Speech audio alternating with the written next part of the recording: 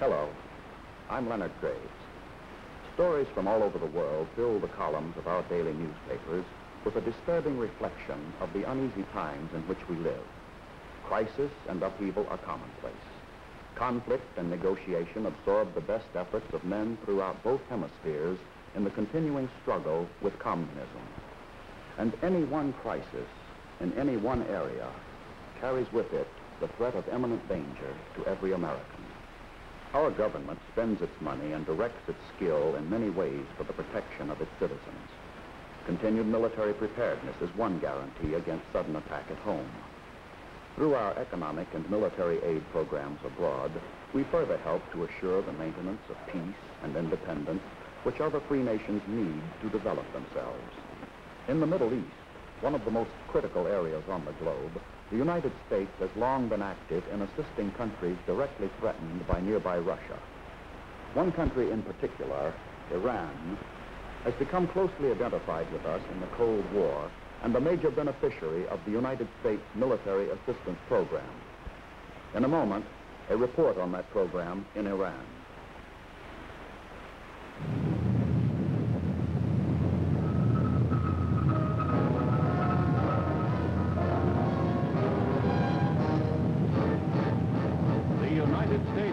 Presents The Big Picture. An official report produced for the armed forces and the American people.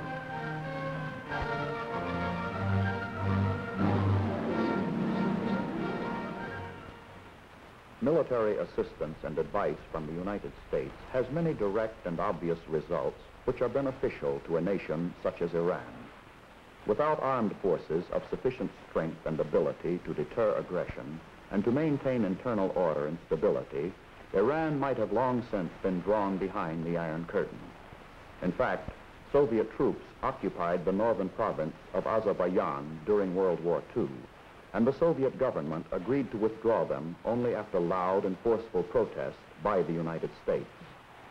Today, Russian radio propaganda is beamed from powerful transmitters just across the border in an effort to impress rural Iranians with the friendliness and eagerness of their communist neighbors, whose real message is conquest. The true face of communism exists somewhere behind the barbed wire fences and armed guard towers that mark the more than 1,000 miles of Soviet border. Communist soldiers have marched south across that border before, and every Iranian knows that they would not hesitate to do it again if they thought they could succeed short of war.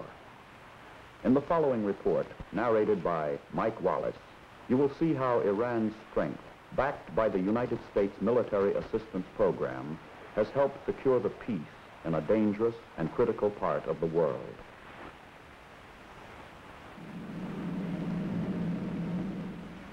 Iran includes great areas of dry and barren land.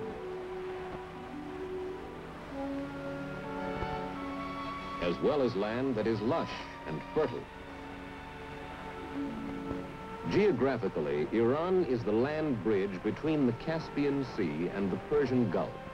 Strategically, the country is the keystone to free world defense of the Middle East and a member of the Central Treaty Organization. Traditionally under her old name, Persia, she has been a gateway for invasion. The armies of Alexander the Great and the hordes of Genghis Khan have swept through her pass. To the west, her neighbors are Turkey and Iraq. To the east, Afghanistan and Pakistan. To the north, she shares 1,400 miles of common border with the Soviet Union. Today, Iran is busy. A new reality rises from the dreams and aspirations of her people. A new world is being built upon the hopes of centuries. Modern, progressive, sometimes radical changes are transforming the face of the nation and shaping an environment where national independence, individual freedom, and social justice prevail.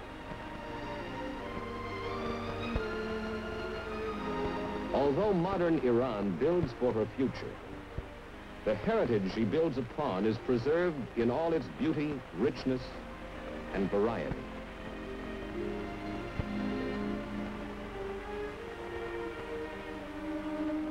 at this Kurdish tribal wedding. Ancient custom is honored, and local tradition still respected.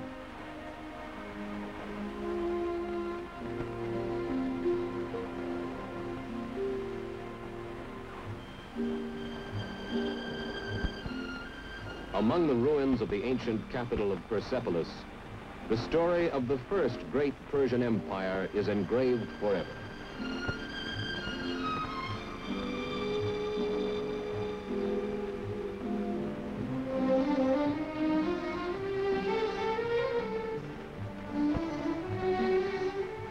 Six hundred years before Christ, the empire reached the peak of its power and influence under Darius the Great, and it stretched from Egypt to India.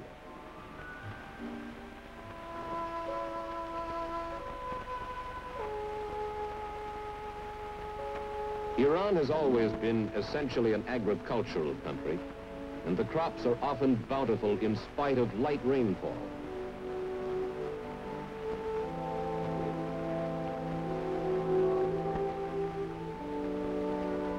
With the help of American economic and technical assistance and the introduction of new methods and modern equipment by the Iranian government, agricultural development has been stimulated over the past decade.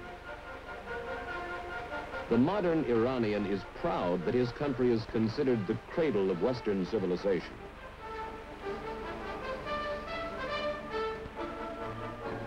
But he is also aware that for centuries, old Persia failed to keep pace with that civilization.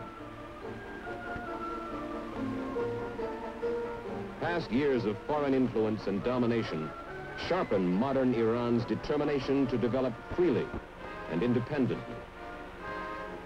The large oil industry contributes substantially to this development today, while also helping other free world countries who are her customers.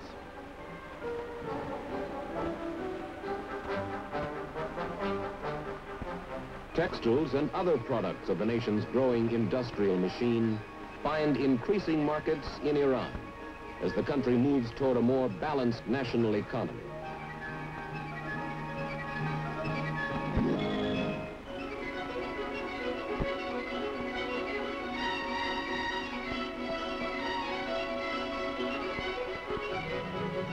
Iranian and American economic programs have injected vital capital and technical assistance into Iran's industry. But the country still depends heavily upon imports.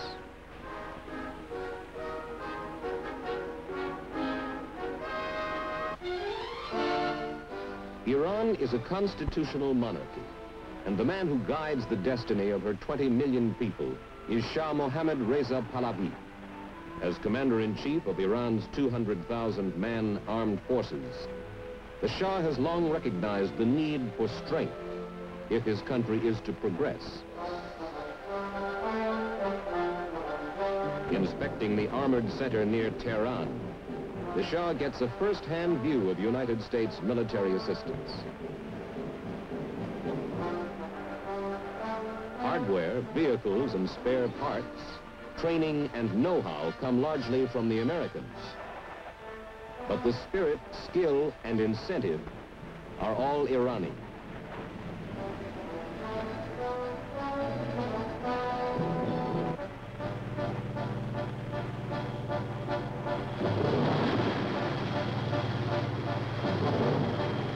On a field exercise in northern Iran, one crack Iranian unit shows off its knowledge of battle-tested American tactics.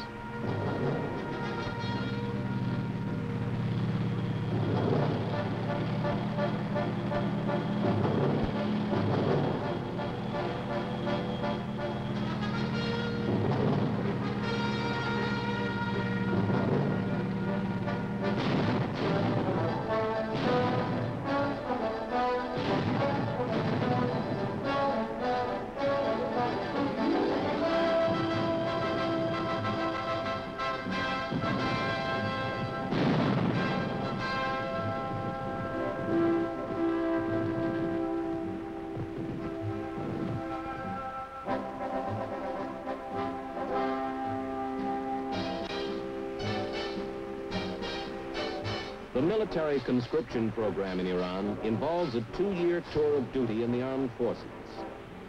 These young men are the raw material of the country's manpower who will be trained and toughened and taught.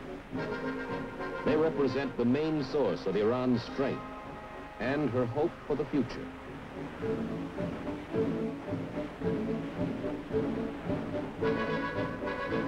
In basic training, first lessons on the rifle are among the most important.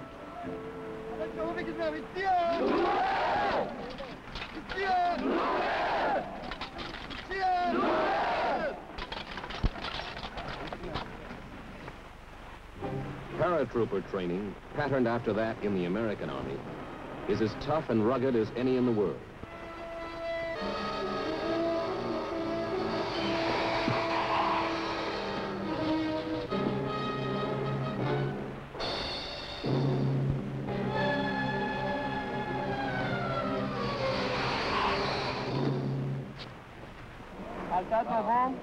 رفتن زیر برف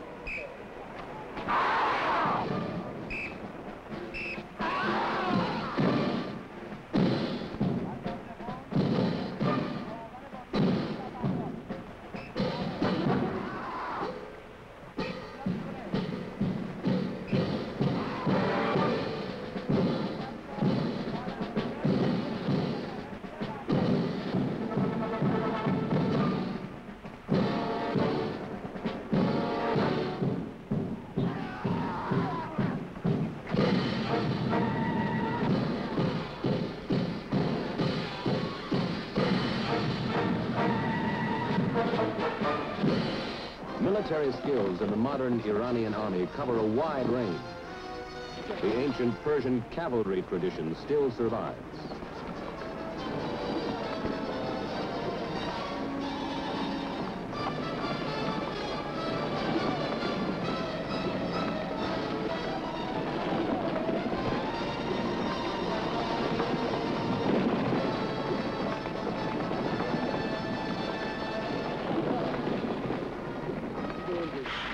These soldiers are trained and equipped under the Military Assistance Program to fight as infantry. Although horses still provide considerable mobility, they are gradually giving way to mechanization.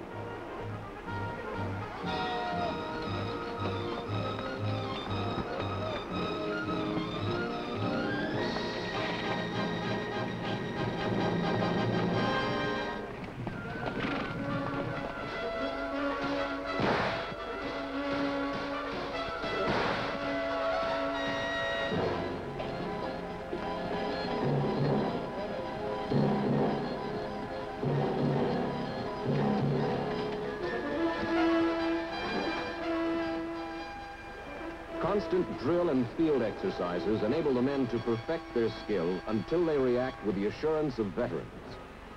Regular firing exercises under the experienced eyes of American advisors help them develop the kind of deadly accuracy they would need in combat.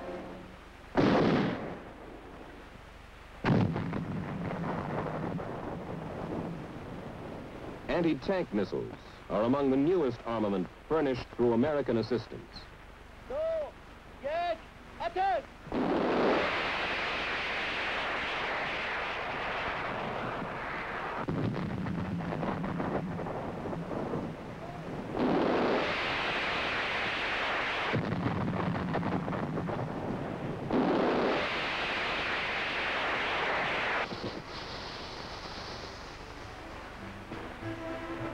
Training an Iranian receives in the armed forces is not exclusively military. Men learn to use tools and equipment required by the services, which will benefit them later in civilian life.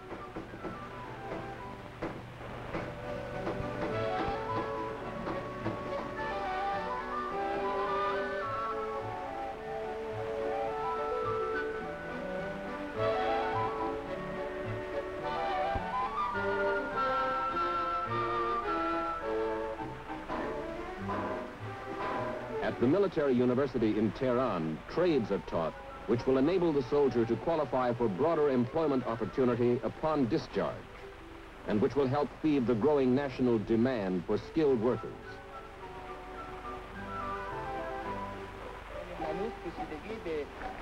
The health of the Army is not overlooked. Here, an American-supplied portable dental office is demonstrated for the benefit of soldier technicians at the university.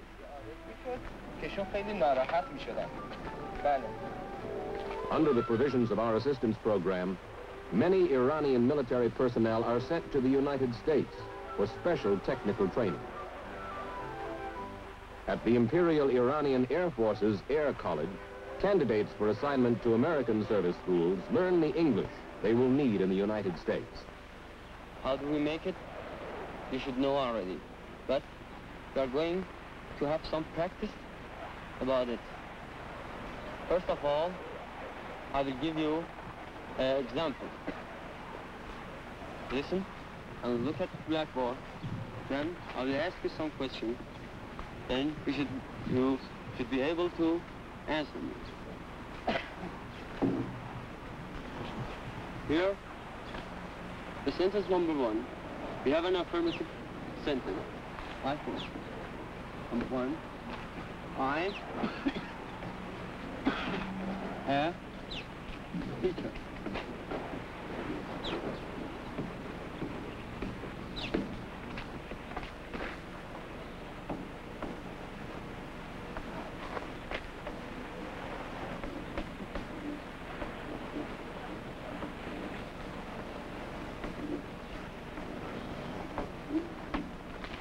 Am I a teacher? Yes, you are. Am I a teacher? Yes, you are. راجع به موتور F84 که الان داریم روش بحث میکنیم صحبت کردم قسمت اولش قسمت اکسسر یونیت بود که بحثمون تمام شد قسمت دومی که From the complexities of jet engine maintenance for advanced students to the simplest aviation orientation, cadets at the Air College receive the finest possible instruction from Iranian officers trained in America.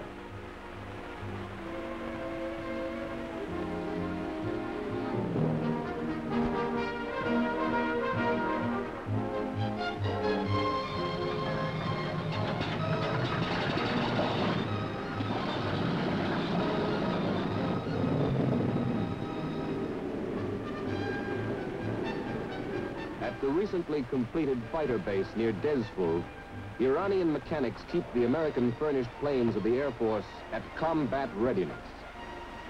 Direct aid under the United States Military Assistance Program underwrote construction of the base, but the Iranians themselves defray most of its operational costs.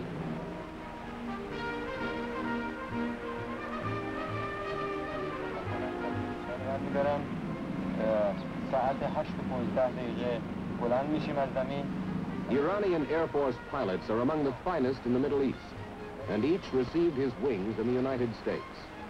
American pilots assigned to the Air Force advisory mission in Iran frequently fly with the Iranians on routine training missions. In this way, our military advisors are kept abreast of both the maintenance level and flying proficiency of the squadrons they advise. Although American advisors are assigned to help the Iranian armed forces throughout Iran, no American bases or combat units exist in the country. Robin Bachtachi, Roger, clear for takeoff, then Vesti at 10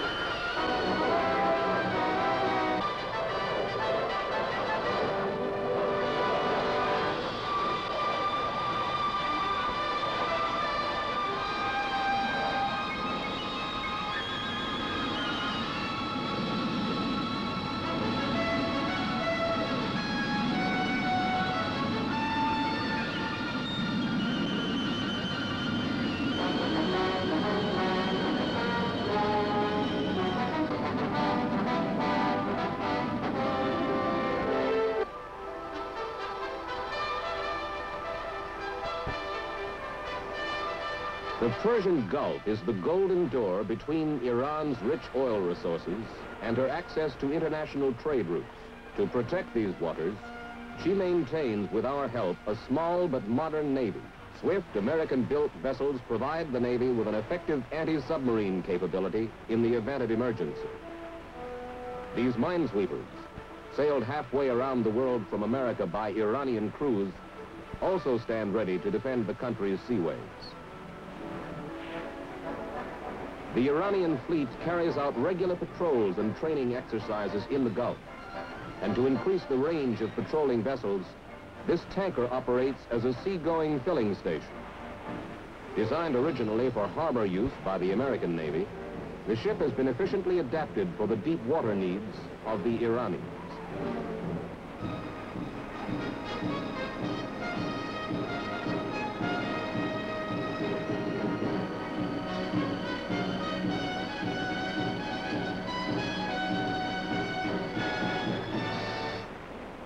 Surface gunnery is an old naval art and highly competitive between crews.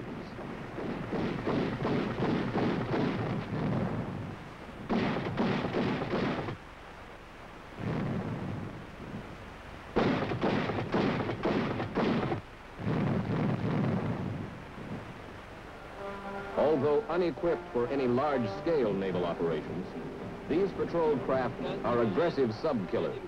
To range 400 yards, starting to drop the depth charge. Vessels in the starboard will be passing Lalezar and bow. Vessel on the port will be passing Lalezar and stern. Then, second subdivision will be having the same procedure.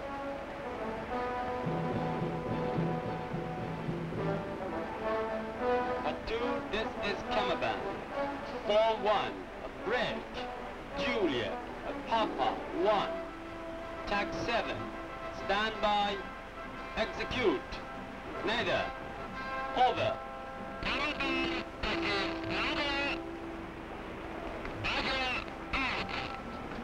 سکان 15 درجه به راست سکان 15 درجه براست سکان وسط سکان وسط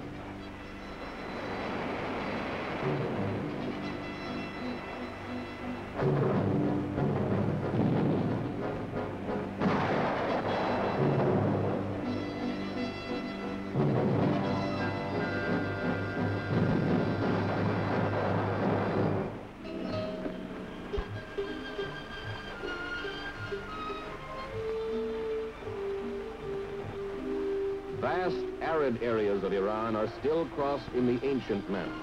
Caravan routes in use since biblical days are routinely patrolled by the Iranian gendarmerie. Trained to assist in maintaining the internal security of the country, the gendarmes are similar to American state troopers, although they are organized along army lines.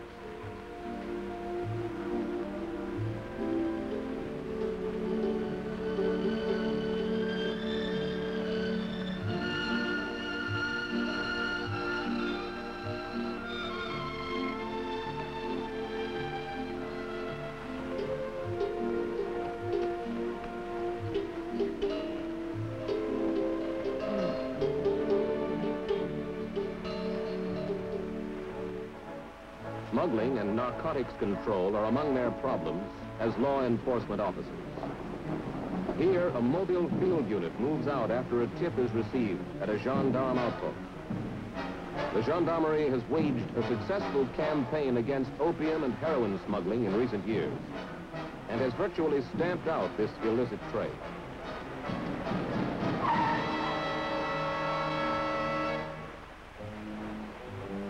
The gendarmes receive equipment and advice under the military assistance program. Their usefulness as an internal security force is increased with our help. They are able to enforce the law more efficiently, no matter where they may be.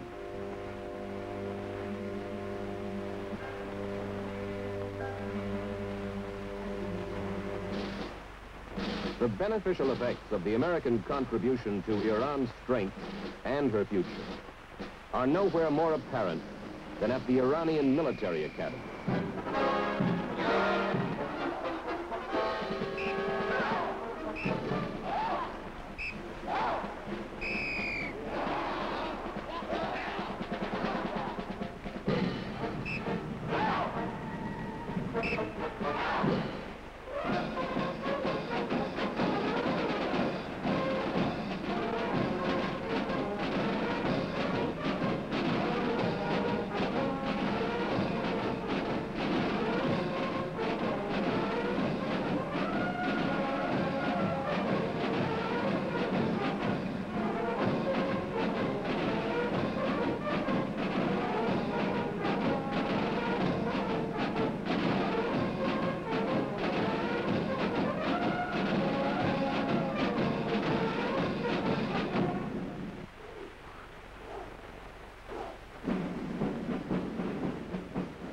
Economic and technical aid, direct loans, and military assistance to Iran represent a large American investment over the past 10 years.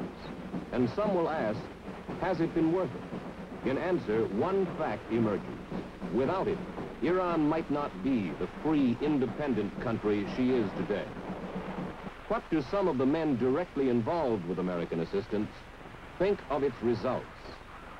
The Iranian soldier we are equipping is a hard-working soldier and willing to defend his country.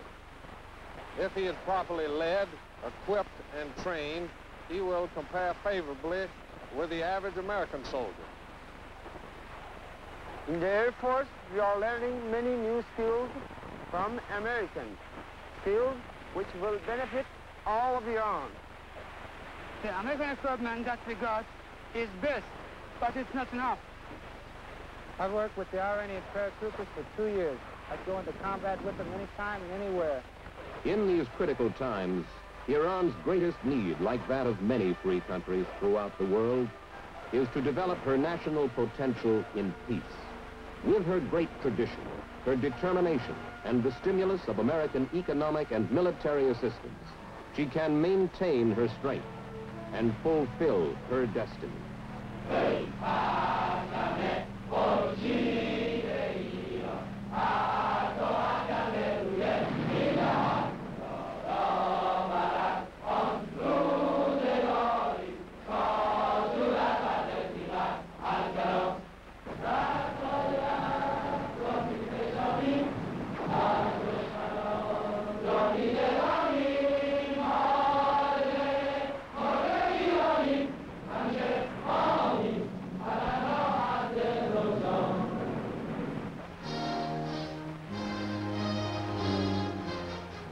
The Big Picture is an official report for the armed forces and the American people. Produced by the Army Pictorial Center. Presented by the Department of the Army in cooperation with this station.